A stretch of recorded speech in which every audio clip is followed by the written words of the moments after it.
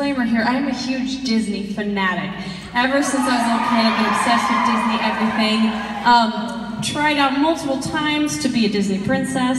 Uh, some dreams just aren't meant to be. But um, I did get hit up finally just a couple months ago by Disney asking if I would write for the new Pete's Dragon movie, which I was ecstatic about. So, um, the song we're about to play for you is is um, in Pete's Dragon, and uh, I liked it so much. I wrote it with Andrew McMahon, and he's actually singing on the track, and um, I liked it so much that I actually asked Disney if I could please also have it on my album as well as their soundtrack, and, and they said yes. And um, you know, I just love the um, I love the theme behind this song. It's uh, it's written about kind of following your inner voice.